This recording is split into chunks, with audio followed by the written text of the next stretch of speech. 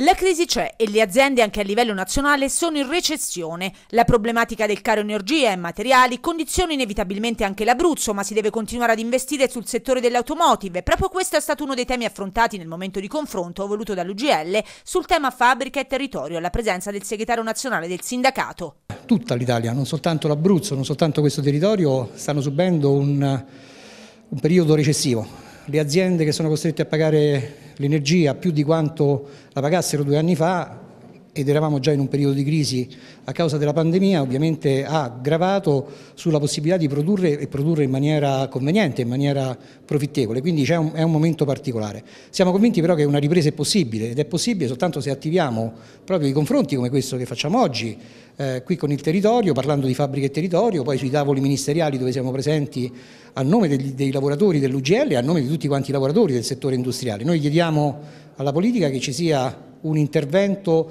su un chiaro destino industriale di questo Paese. Un intervento ovviamente ed è stato fatto da questo governo sul, non ancora sufficiente ma è stato fatto, sul contenimento del costo del, dell'energia. Chiediamo soprattutto che le nostre produzioni eh, diciamo così, specifiche, particolari, strategiche rimangano su questi territori. E mi riferisco a quello che sta per esempio a valle dell'automotive, che, che, è il, tutta quanta la filiera dell'acciaio. Quindi se queste sono le premesse, se il governo centrale insieme ai territori riescono a ragionare e i sindacati fanno la loro parte, facilitano il dialogo, credo che nel breve tempo di un anno, due anni si possa invertire la tendenza. Il nostro è un paese produttivo e vogliamo che continui ad essere tale.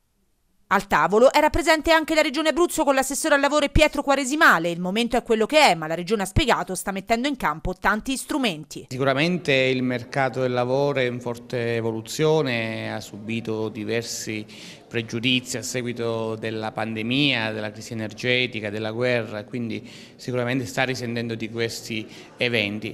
Eh, l'iniziativa di oggi, una sinergia tra le istituzioni e le parti sociali è fondamentale per vedere quali sono le misure eh, da adottare. Come Regione stiamo mettendo in campo diverse misure a partire da GOL, garanzia coabita lavoratore, si tratta di eh, formare determinati profili per poi ricollocarli.